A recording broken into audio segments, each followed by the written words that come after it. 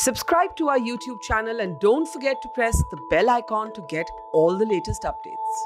Mojo story में आपका स्वागत है, मैं अमित पांडे। आज ज्ञानव्यापी मस्जिद को लेके जो सर्वे रिपोर्ट थी, चौदह पेज की सर्वे रिपोर्ट, वो आज कोर्ट में जमा की गई है। इस पूरी सर्वे रिपोर्ट से पहले एक व्यक्ति, अजय कुमार मिश्रा, जो इस पूरे कमीशन के जो हेड थे, उनको बाकायदा बनारस के सिविल कोर्ट ने निकाला था।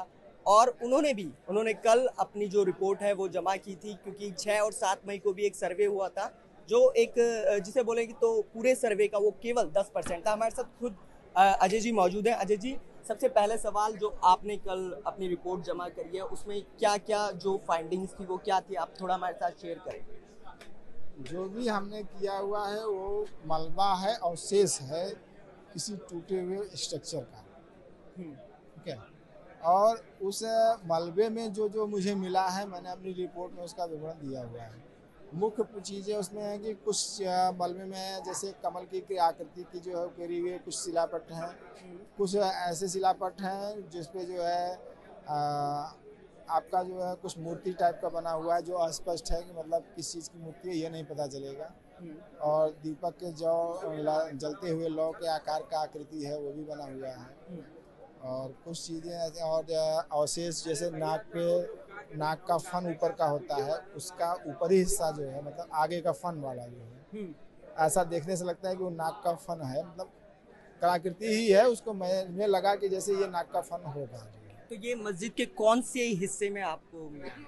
ये जो है मस्जिद के आप बाहर जो है पश्चिमी क्षेत्र जो है वो बैरिकेटिंग के बाहर वाले हिस्से में मिल रहा है बैरिकेडिंग बाहर बाहर। अंदर की बात नहीं अंदर में नहीं है। अंदर नहीं गए। आप अंदर भी गए थे और जो बाकी बाद में जो सर्वे हुआ उसमें भी आप हिस्से थे। उस सर्वे में क्या बातें निकल के आई? कुछ अपडेट जो आपने देखा हो वहाँ पे ऐसा जो कुछ प्रमाण इस मामले में देता हो?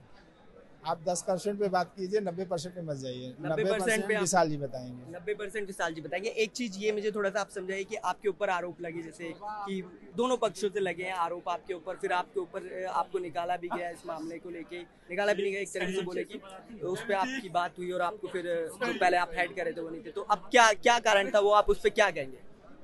सर उस पर बहुत कुछ कह चुका हूँ बहुत कुछ टीवी पे चल भी रहा है आपको भी पता होगा। वो एक मेरे लिए बहुत ही बड़ा सदमा है जिसको मैं बर्दाश्त नहीं कर पाया हूँ। दो दिन तक मैंने इसीलिए मैं कल तक शायद मैंने किसी से बात भी नहीं किया है। तो वो बयान करने लायक चीज़ नहीं रह गई है। उसको दबा दिया जाए ही अच्छा है जो है क्योंकि जब भी आप बोलेंगे तो कुछ ना कुछ जो है भाव गलत ही निकलेगा जो है उससे कोई फ़ायदा नहीं है। और ये जो आरोप है इनको आप पूरी तरीके से गलत मानते हैं? सारे आरोप गलत हैं केवल महत्वाकांक्षा की पूर्ति के लिए अपने आप को सिद्ध करने के लिए मेरे ऊपर आरोप लगाया अपने आप को मतलब? जिन्होंने भी आरोप मेरे ऊपर लगाया है वो अपने आप को महान साबित करने के लिए ही ऐसा किया है कि मुझे हटाया गया मतलब आप नाम नहीं लेना चाहते हैं जिन जिन्होंने मिला नाम सब जान रहा है सर जो है उसमें बताने की क्या ज़रूरत है? और एक चीज़ मुझे और थोड़ा सा आप समझाइए कि ये जो पूरा केस है काफ़ी हाई प्रोफ़ाइल केस है कई सारी बातचीत हो रही है इसको लेके। आपका इस केस से थोड़ा सा आप जुड़े थे तो आपका जो एज अ पर्सनल एक्सपीरियंस था उस पर आप क्या बताएँगे देखिए जो भी रहा है एक्सपीरियंस मेरा अच्छा रहा एक अच्छा काम था जो है न्यायालय ने हमें सौंपा था। मैंने जब तक कार्य उन्होंने दिया मैंने बखूबी ईमानदारी से उसका निर्वहन किया। एक मुझे और थोड़ा सा आप डिटेल में थोड़ा थोड़ा सा मुझे ये जो आपकी फाइंडिंग थी दस परसेंट वाली फाइंडिंग इसमें आपने बोला कि एक जो नाक का फन है उस प्रकार का आपको शेप मिला तो वो असल में क्या था कैसे आप गए और जो पूरा वीडियोग्राफी का प्रोसेस था और फ़ोटो लेने का प्रोसेस था वो पूरी प्रक्रिया हुई कैसे? एक आम व्यक्ति को अगर हम समझाएँ कि किस प्रकार से वो प्रक्रिया होती है। मलबा था उसका देख देख के उसका निरीक्षण किया गया उसका वीडियोग्राफी बनाई गई। जैसे मलबे पड़े थे उस हिसाब से उसको जो है देखा गया। उसकी वीडियोग्राफी की जो चीज़ थी उसको लिखी गई और उसको रिपोर्ट में दिया ठीक है। तो ये अजय कुमार मिश्रा थे जिन्होंने हमें बताया कि किस प्रकार से जो उनकी 10 परसेंट की जो पूरी फाइंडिंग थी, उसमें उन्होंने क्या क्या चीज़ मिली और मस्जिद के किस हिस्से में मिली। अब वो थोड़ा सा इसके बाद इस सर्वे से हटाए गए थे, एक तरीके से हटाए भी नहीं गए थे तो कह सकते हैं कि उनको उनका पद से नीचे गया था क्योंकि पहले वो उसको हेड कर रहे थे।